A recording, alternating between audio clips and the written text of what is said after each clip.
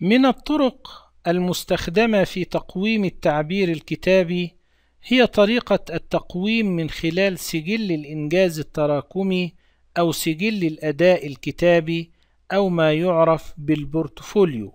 تعتمد هذه الطريقة على إتاحة الفرصة للتلميذ للكتابة في أحد الموضوعات على مدار مجموعة من الأسابيع، ربما على مدار مجموعة من الشهور على مدار العام الدراسي كله. يقوم التلميذ بتوثيق كل ما يكتبه وبالكتابة في مجالات مختلفة وينوع التلاميذ في الموضوعات التي يكتب فيها وفي المجالات التي يكتب فيها الهدف من هذا التنويع أن التلميذ يريد أن يعطي صورة كاملة عن مهاراته في عملية الكتابة.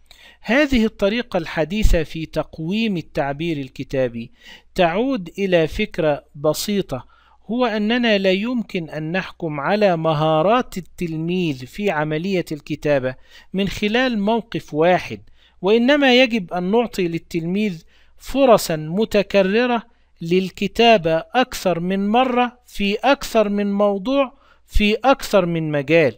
يقوم التلميذ بتوثيق نماذج من كتاباته.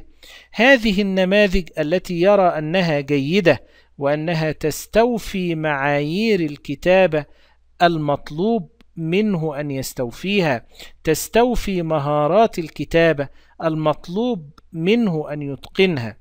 ثم يذهب التلميذ بهذا السجل إلى المعلم حيث يشترك ثلاثة من المعلمين على الأقل في قراءة سجل التلميذ الكتابي في الاطلاع على ما قام التلاميذ بكتابته من موضوعات ويعطي كل منهم درجة للتلميذ ثم يؤخذ متوسط هذه الدرجات للحكم على مستوى التلميذ في عملية الكتابة.